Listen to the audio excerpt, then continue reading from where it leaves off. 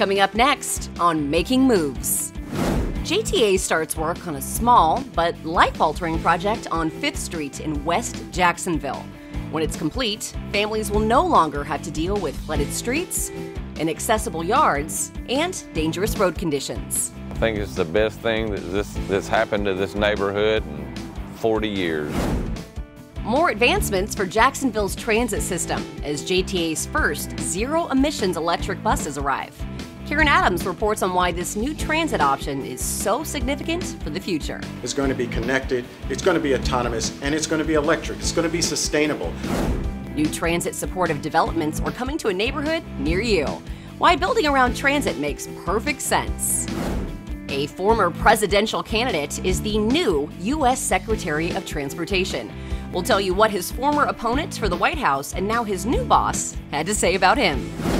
And Bill sits down with the new JTA board chair, Ari Jolly, to get her take on the pandemic, autonomous vehicles, JTA's future, and what drives her seemingly endless enthusiasm for the JTA staff. You know, the men and women at this agency that I've come to know care about their community. You know, they show it. I've seen them demonstrate that time and time again. These stories and more are all coming up right now on this brand new episode of Making Moves.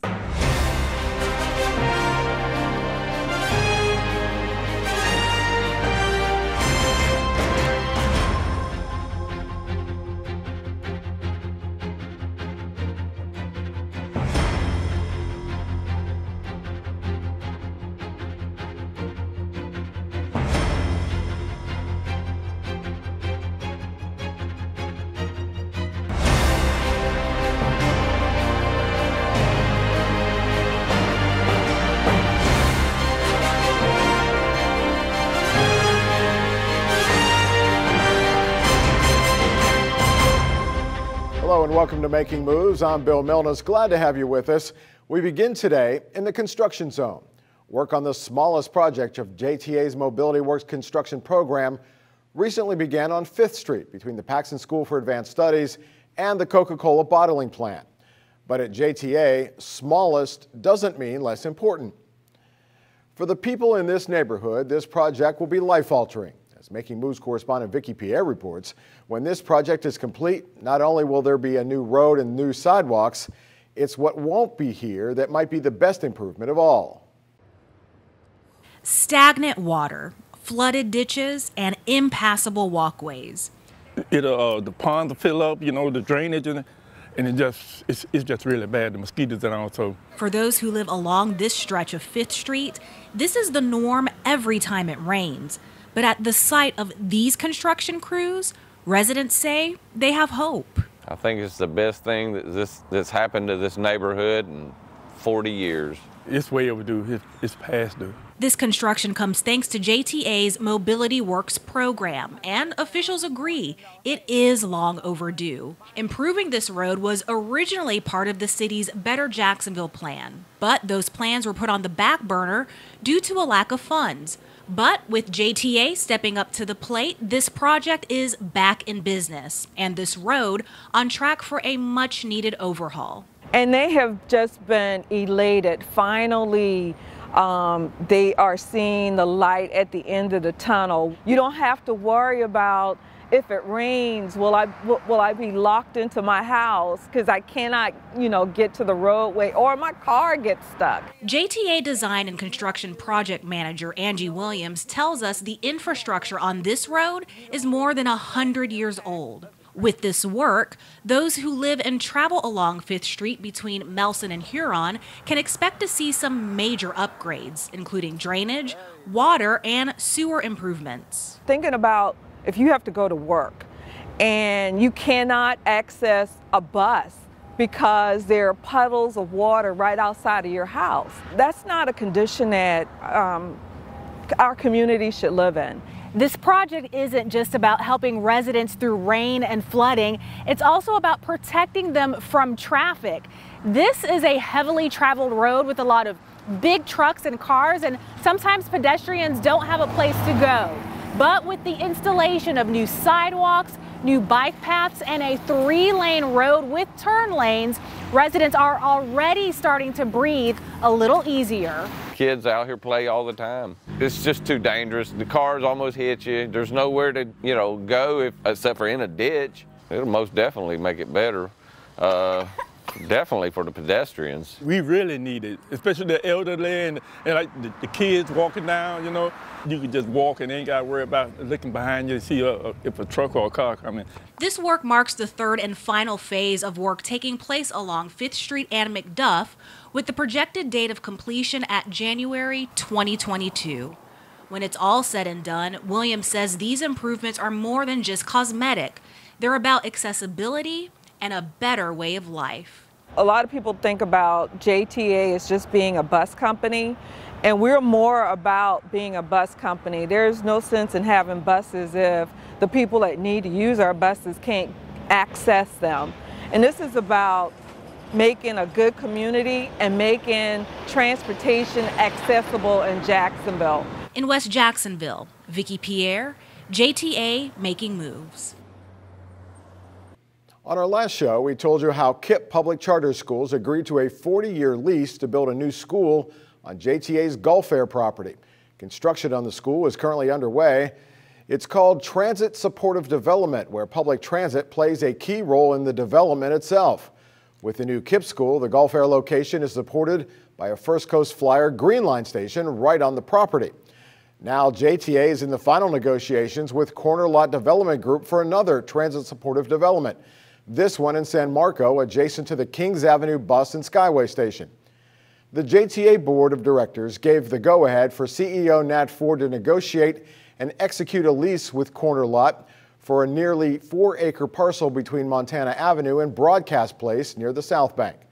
Corner Lot plans to build 340 multifamily residential units and retail space with structured stormwater and parking, activated green spaces, connectivity to the Kings Avenue Transit Hub and Skyway Station, and the surrounding community.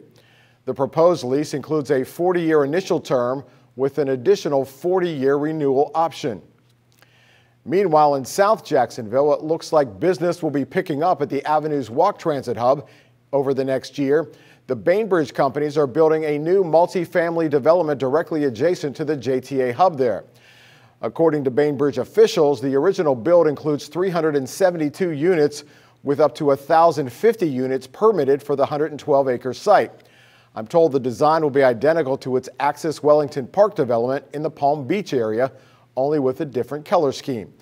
This will be the second Bainbridge development in Jacksonville, but the first connecting to a transit facility. When the new development is complete, the potential for new ridership on JTA's First Coast Flyer Blue Line and other routes that service the Avenues Walk location is absolutely huge. That Avenues Walk site was also built with a long-term goal of serving as a future commuter rail station. That's something the future residents will sure be thrilled about. JTA marked a new milestone in its transit evolution when the authority received its first ever zero emission battery powered electric buses. Making Moves correspondent Karen Adams shows us how these buses are different from anything else in the JTA fleet and why adding them is so significant. JTA is making strides to get its fleet of buses up to the most technical and futuristic standards. The benefits will help bring JTA into the green age by having buses with no emissions or pollutants. JTA's CEO says the buses are yet another milestone the transportation company is achieving. In terms of uh, the, the zero emissions and dealing with uh, greenhouse gas emissions and sustainability in our environment, it's important that uh, public transportation or transportation in general looks at alternative fuel sources that allows us to have zero emissions. Mark Benston is the director of maintenance for all of the buses JTA owns. He says the new technology has all of his mechanics excited and looking forward to servicing them. For us, the first thing that we're going to notice here in maintenance is uh, uh, our reduced maintenance inspection costs there's, there's no oil to change on them. Uh, the, the, inspection, we can bring them in pretty much, just look at them. There's, there's no maintenance on the, on the bus, on the, uh, the batteries itself. So what will riders notice with these new buses? Benston says not much, as they'll look similar, but they just won't be as noisy at all. In fact, you might not even hear them approaching. Well, they won't notice anything much different because, because they all look the same as uh, our CNG buses. What they'll, they'll notice about them, they'll, they'll be a lot quieter than the CNG or diesel buses. Right now, JTA has purchased two of these all electric buses with zero emissions, which will be great for the environment. JTA will evaluate this for the next year, and if necessary, and if things go as they expect, they will be buying more. JTA riders will see the new buses only on a specific route to start. It'll be Route 82, the Amazon shuttle. Part of the reason they'll be on a shorter route is because, being all electric, the battery life can only power each bus about 150 miles before it needs to be recharged. There is a major challenge in terms of our service area and the wide, the very large territory that we're covering. And so as we look at introducing these vehicles, we'll look at range, we'll look at where we need to have charging stations so we can make sure that these vehicles are properly charged the battery technology is evolving, and so as it evolves over time, we're expecting a point that uh, introducing electric vehicles to, to our entire fleet. The long term goal will be to get more charging stations set up around the city as more electric buses are purchased, a true sign of the times to come. As our nation and the city of Jacksonville starts to become less dependent on fossil fuels and more dependent on clean energy. In Jacksonville, Karen Adams, JTA Making Moves. JTA's Ultimate Urban Circulator, dubbed the U2C, is one of the more exciting transportation projects anywhere in the country. The project, which will transform transit not only in Jacksonville but throughout the transportation world, keeps moving forward to eventual commercial revenue service in downtown. Two teams have submitted proposals to build phase one of the plan, the Bay Street Innovation Corridor. Selection is expected to be finalized this summer. The winning team of companies would then begin to design the actual system which should take approximately 18 to 24 months. Full commercial revenue service of autonomous vehicles on Bay Street is expected no later than 2025. That's a mere four years away, and frankly, I'm told it could happen even sooner. The Bay Street project is more than just autonomous vehicles, it's an innovation corridor. JTA is partnering with the North Florida TPO, the City of Jacksonville, and JEA to use the latest technology to enhance the usability of the corridor. Now here's a look at the two teams competing for the Bay Street contract. Team one consists of Balfour Beatty Construction as the design lead and project manager, Superior Construction Company Southeast, BEEP, WGI, Stantec Consulting Services, and Miller Electric would all serve as subcontractors. The second proposal features Jacksonville-based Haskell Company as the design lead, the build contractor, project manager, transportation engineer, architect, and engineer, as well as project oversight firm.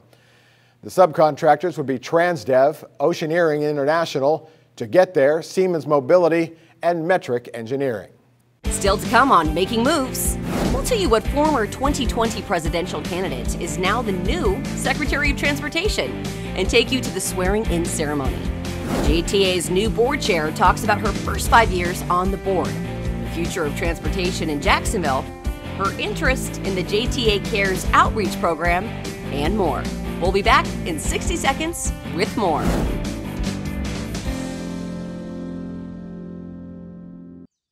Jason, let's go see your room.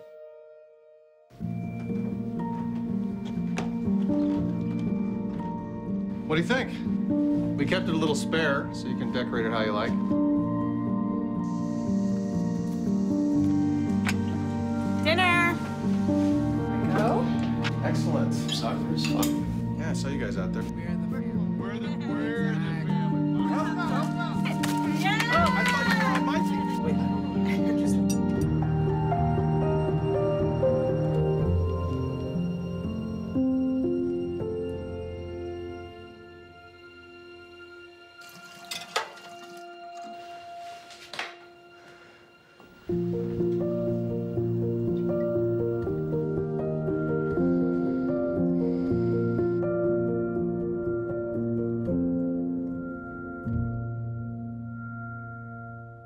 You're watching Making Moves, the most honored transportation news and information program of its kind in the country. Welcome back to Making Moves. Some national news now. By an 86 to 13 margin, Pete Buttigieg, the former 2020 presidential candidate and mayor of South Bend, Indiana, was confirmed by the U.S. Senate to be the new Secretary of Transportation. I, Peter Buttigieg, I, Peter Buttigieg, do solemnly swear do solemnly swear Vice President Kamala Harris swore in the new secretary, who takes over the job from Elaine Chao. Buttigieg becomes the 19th confirmed Secretary of the U.S. Department of Transportation. His confirmation also has historical significance as he became the youngest cabinet member in history at just 39 years old. President Joe Biden called Buttigieg a patriot and a problem solver who speaks to the best of who we are as a nation. American Public Transportation Association President Paul Skoutelas had this to say. We look forward to working closely with Secretary Buttigieg to address the ongoing impacts of the coronavirus pandemic. In particular, we urge Congress and the administration to provide $39.3 billion of COVID 19 emergency funding to help public transit agencies continue to provide a critical lifeline to essential workers and help our communities begin to rebuild our economy. Here locally, the JTA Board of Directors has a new lineup of officers. The board selected Ari Jolly as its new chair. Jolly, a former naval officer, has been on the board for the past five years. Jolly takes over for Kevin Holzendorf, who has led the board for the past two years. We'll have more with the new chair in just a moment. Debbie Buckland is the new vice chair. Buckland was appointed to the board back in 2019 by Governor Ron DeSantis. She is the market manager for Truist Bank. Ray Driver, a founding partner of the Driver McAfee Hawthorne and Diebenow law firm, is the new board secretary, while Nicole Paget is the new treasurer. Paget is the chief administration officer for Summit Contracting Group, and she's also the president and owner of Elite Tech Solutions. There have been few JTA board members as enthusiastic and supportive as new board chairwoman Ari Jolly. The former naval officer and current senior assistant general counsel at Florida Blue Jolly has been on the JTA board for the past five years. But now she takes on the new challenge of leading the agency through and hopefully out of a pandemic.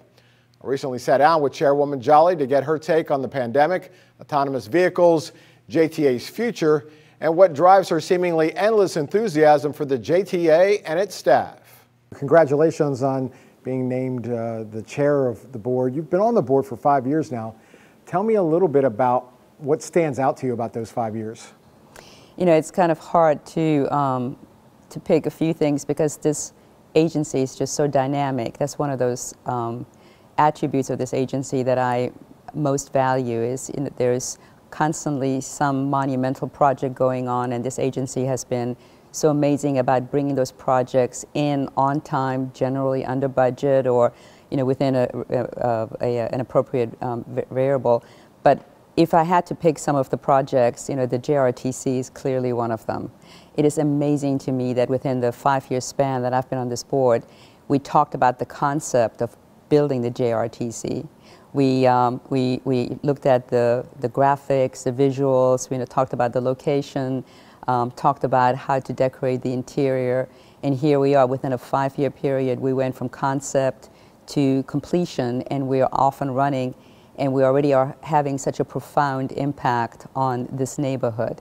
all you have to do is come down here to the La Villa area and look at the residential um, developments that are popping up. And I, I, dare say in the next five to 10 years, you know, this is going to be such a revitalized community. Um, and that's, that's the JRTC. So I think that probably is, you know, the, the most um, significant development in my five years on the board. You talked a little bit about the growth that's going up around uh, the JRTC.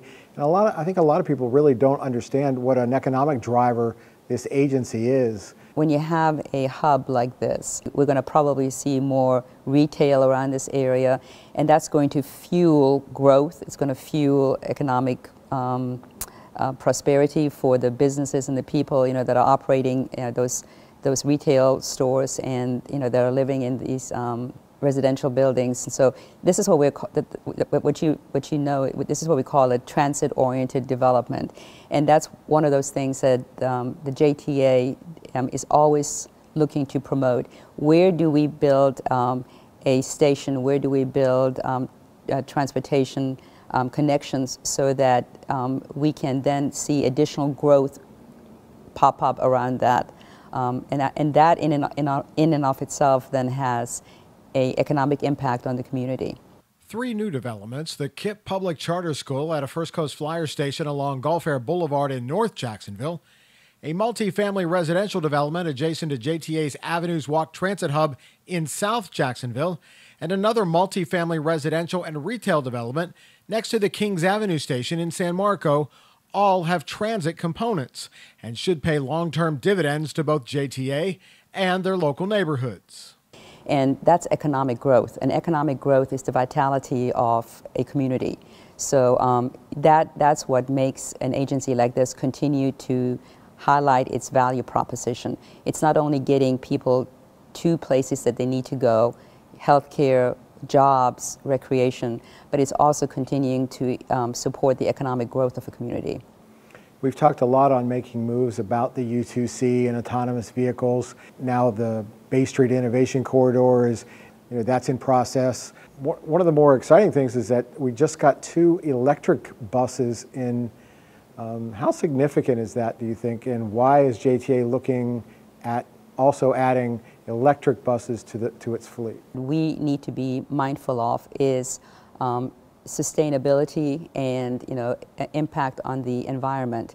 And so um, the acquisition of these two electric buses will allow us to test the viability of these electric buses and um, hopefully it'll support you know growing our electric bus fleet because if you look at it we have a, a um, mandate to look at how do we operate in a environmentally conscious manner. Do you think Jacksonville's ready for autonomous vehicles? I think you know the um, autonomous vehicles are here to stay. I think it's the wave of the future, and I think this community has the courage, and I think it's you know it's got the um, I think it's going to enjoy the um, the challenge of being you know the innovator that um, makes it mainstream. Jolly says she regularly gets questions from her friends and colleagues about autonomous vehicles how they work, are they safe? Questions she's happy to answer, but she says there is still more work to be done when it comes to educating the public about this futuristic transit option. They do, and, and, and what that highlights to me is that one of our challenges is going to be um, educating the public. What does an autonomous vehicle, how does it operate? You know, um, why, uh, why should we not be worried about safety issues? Um, you know, I think we, that's probably um, an area that we really have to focus on and we have to um, be very good at is educating the public to understand why these autonomous vehicles are in fact very safe. They take that human element, that, that, um, that lack of reaction ability um, and out of the equation. Um, but there may be other challenges, and people worry about, you know, can they be hacked? You know, um, what if there is a power failure? You know, so we've got to be, we have to be able to make sure that, you know, in a, in a um, comprehensive enough yet concise enough manner, we can communicate both the challenges and the opportunities so that the anxiety and um, question, you know, is properly addressed. You've taken a particular interest in the JTA Cares program. I'm kind of why why that um, area of what JTA does, the outreach, has kind of caught your attention. You know, the men and women at this agency that I've come to know care about their community. You know, they show it. Have, I've seen them demonstrate that time and time again.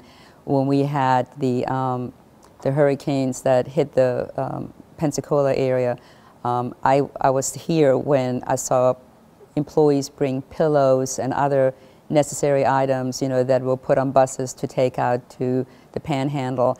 Um, and it is, it is consistent with this agency's um, commitment to our community and to those within our community, you know, to whom, um, who are experiencing hardship, um, either permanent or temporary. And um, I think it's it, it's part and parcel of our soul. It's part and parcel of our mission is to serve, you know, and, and the, the CARES opportunities isn't just another um, way of, of making sure we carry through on that. Um, I can't tell you how incredibly heartwarming it was for me um, the last couple of Thanksgivings to be at the South Barker Center and see our employees here um, hand out the baskets with you know entire turkey meals um, and other and, and, related items, and, and to see the gratitude and um, smiles of the recipients of those baskets. Thanks for being on the show. We appreciate it. When I was your age, I was just like you, fascinated by stars.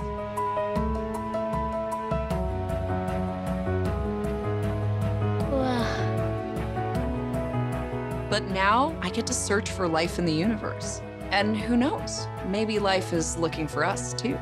So we're like aliens to them? Yeah. Does anyone want to be a scientist now? I oh, do. Awesome. We need more girls in STEM. Maybe we can find aliens.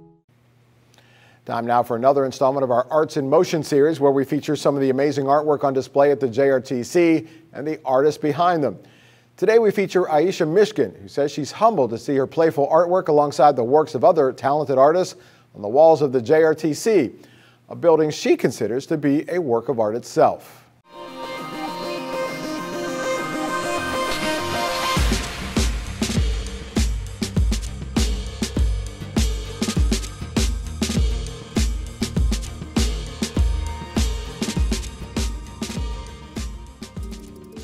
Mean, I'm pleasantly surprised that one, I'm here right now, this is incredible, and you know that I'm being able to wake up every day and pursue my passion.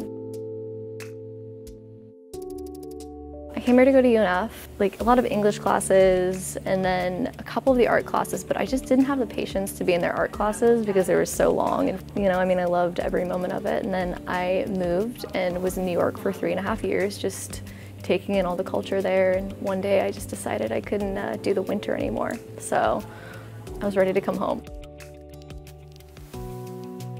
So the art thing's always been something that I've done really early on, but when I got serious, when I got back from New York, I think that that's when I realized like, you know, this is something that's not going away and this is something where a lot of people are encouraging me to pursue it and it's a really scary thing, I think, to pursue something that's sporadic and like has no rhyme or reason why certain people are successful and other people aren't. But I figured if I was going to do something, I needed to do it with like all of my energy and just welcome it in and allow it to grow the way that it needed to grow. So I think when you're young, you have like a lot of different mediums to explore and that's really exciting for people to be able to like see what they're good at, if they're good at painting or pottery or textiles or just, you know, drawing and digital art now. So for me, it was always like I was heavily into illustration and that's like where the main body of my work is. I love that and I love being able to just draw every day and sit down and like zone out. I've always wanted to go into like fashion and stuff. And that's like something I was really interested in when I was little. And I realized it wasn't so much fashion that I liked, it was more so the textile part of it. I taught myself how to embroider. Once I picked up a needle, it was kind of like I just didn't stop. It's really cool to be in a building that one looks like a piece of art and two to have like other artists, you know, surrounded, like hanging next to other artists who are just as talented, if not more. It's very flattering and it feels like, you know, this hard work pays off. And that wraps up this episode of Making Moves. We thank you for joining us and welcome you to check out our YouTube channel where you can watch past episodes and stories at your leisure. And direct links to our YouTube page is available at jtafla.com. I'm Bill Milnes for everyone here at JTA. Thanks for watching, and we'll see you next time.